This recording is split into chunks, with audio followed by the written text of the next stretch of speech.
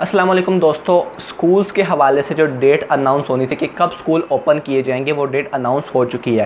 جی ہاں آج کی ویڈیو میں میں آپ لوگوں کو وہ ڈیٹ بتاؤں گا کہ جی کون سی ڈیٹ ڈیسائیڈ کی گئی ہے کہ جس دن سکول کھولے جائیں گے۔ تو یہ ویڈیو تمام سٹوڈنٹس کے لیے بہت زیادہ ایک ہیلپ فل ہونے والی اور ان کو ان کی پریشانی بہت زیادہ کم کر دے کیونکہ ایگزیکٹ ڈیٹ ہے وہ اناؤنس کر دی گئی ہے کہ کس دن سکول کھلیں گے۔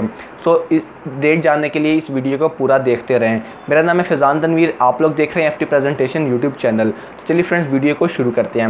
دوستو، حکومت کے جو صوبائی حکومتیں ہیں، ان کے وزیر تعلیموں کے درمیان بہت زیادہ جو اجلاس تھے، وہ پہلے بھی ہو چکے ہیں اور آج بھی ایک اجلاس ہوا ہے۔ پچھلے کے اجلاسوں میں کچھ پوسٹ پون ہو گئے، کچھ میں کچھ جو تجاویز پیش کی گئی، کچھ میں کچھ تجاویز پیش کی جن پہ عمل نہیں کیا جا سکتا تک due to current condition of corona virus in Pakistan so جو آج کی میٹنگ میں اجلاس ہوا ہے، وہ بہت زیادہ آپ لوگ کہہ سکتے ہیں کہ وہ سکسیسفل ہوا ہے اور وہاں پہ جتنے بھی وزیر تعلیم تھے، مختلف صوبوں کے، ان سب کی ایک پوائنٹ پہ آ کر جو آپ کہہ سکتے ہیں کہ انہوں نے ایک پوائنٹ کو تسلیم کر لیا ہے اور اس ڈیٹ کو اناؤنس بھی کر دیا گیا ہے کہ کس ڈیٹ کو آپ لوگوں کے جو تعلیمی ادارے ہیں سکولز ہیں، وہ کھولے جائیں گے.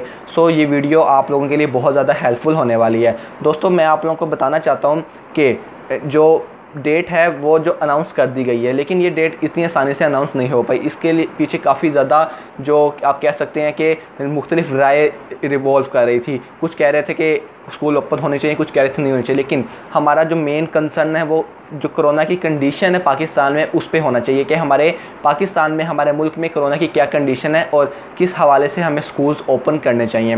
سو ان تمام چیزوں کو مد نظر رکھ کر یہ فیصلہ کیا گیا ہے کہ آپ لوگوں کے جو سکولز ہیں، وہ یکم ستمبر سے سات ستمبر تک کھول دیے جائیں گے۔ یعنی کہ میجورٹی آف جو آپ لوگ کہہ سکتے ہیں کہ جو میجورٹی ڈیسیجن ہے وہ یہی ہے کہ یکم ستمبر کو آپ لوگوں کے سکولز کھولے جائیں۔ وہ بھی سخت ایس او پیز کے ساتھ یعنی کہ جو S O Ps government provide کرے گی، اس میں بھی سختی سے عمل کیا جائے گا۔ اور، یا اگر یکم ستمبر تک نہیں کھلتے تو آپ لوگ یہ سمجھ لیجیے کہ یہ اپنے ذہن میں بٹھا لیں کہ آپ لوگوں کے یکم ستمبر کے پہلے ہفتے میں آپ لوگوں کے جو تعلیمی ادارے ہیں وہ کھول دیے جائیں گے۔ سو یہ نیوز بہت سے بچوں کے لیے بہت زیادہ آپ لوگ کہہ سکتے ہیں کہ ہونے والی ہے۔ انٹرسٹنگ ہونے والی ہے اور بہت سے لوگوں کے لیے بہت زیادہ افسردگی کا بھی باعث بن سکتی ہے۔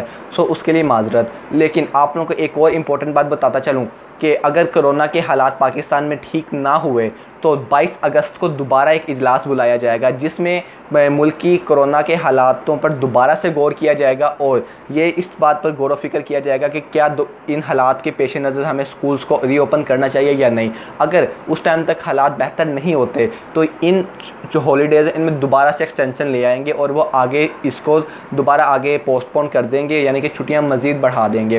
اور اگر تب تک ٹھیک ہو جاتے ہیں حالات، تو پھر یہ یکم ستمبر تک آپ لوگوں کے جو سکولز ہیں وہ کھول دیے جائیں گے۔ ابھی آپ لوگوں کے پاس پھر بھی دو، ایک مہینہ، تقریباً ایک سے دو، ڈیڑھ مہینہ ابھی بھی پڑا ہوا ہے۔ تو آپ لوگوں کے پاس بہت زیادہ ٹائم ہے وہ سب کچھ کرنے کے لیے جو آپ کرنا چاہتے ہیں۔ کیونکہ اس کے بعد آپ لوگوں کو یہ ٹائم نہیں مل ایک مرتبہ سکولز اوپن ہو گئے because I am a student میں جانتا ہوں کہ اگر ایک بار سکولز اوپن ہو گئے تو آپ لوگ پھر دوبارہ سے باؤنڈ ہو جائیں گے۔ سو جو آپ لوگوں کے من میں آتا ہے، جو چیز آپ کریٹیو اچھا کرنا چاہتے ہیں، اس کو ابھی کر لیں۔ آپ کے پاس ٹائم بالکل منیمم اور لمیٹڈ سا رہ گیا۔ سو دوبارہ آپ لوگوں کو بتا دیتا ہوں، جو اناؤنسمنٹ کی ڈیٹ ہے، وہ یکم ستمبر ہے یعنی کہ یکم ستمبر کو آپ لوگوں کی کالج سکولز وغیرہ اوپن ہو جائیں گے اور بائیس اگست کو میٹنگ دوبارہ سے بلائی جائے گی، جس میں اس چیز کے بارے میں اور زیادہ ڈسکشن کی جائے گی۔ سو یہ تھی آج کی ویڈیو جس میں میں نے آپ لوگوں کو ڈیٹ بھی بتا دی اور ہر چیز آپ لوگوں کو کلیئر کر دی۔ اب مجھے نہیں لگتا آپ لوگوں کے مائنڈ میں کوئی بھی ڈاؤٹ رہنے والا ہے۔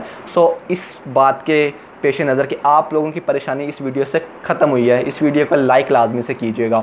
اور نیچے دیے گئے لال کلر کے سبسکرائب بٹن کو کلک کر کر چینل کو ضرور سبسکرائب کر لیجیے گا، کیونکہ میں ایجوکیشنل ویڈیوز اپلوڈ کرتا رہتا ہوں، وہ بھی ریگولرلی سو ملتا ہوں میں آپ سے کسی اگلی انٹرسٹنگ ویڈیو میں اپنی رائے کا اظہار کمنٹ سیکشن میں نیچے ضرور کیجیے گا۔ میں آپ لوگوں کے ہر کمنٹ کا جواب دینے کی پوری کوشش کروں گا۔ ملتا ہوں میں آپ سے اگلی انٹرسٹنگ ویڈیو میں اپنا بہت سا خیال رکھیں، دعاؤں میں یاد رکھیں۔ اللہ حافظ۔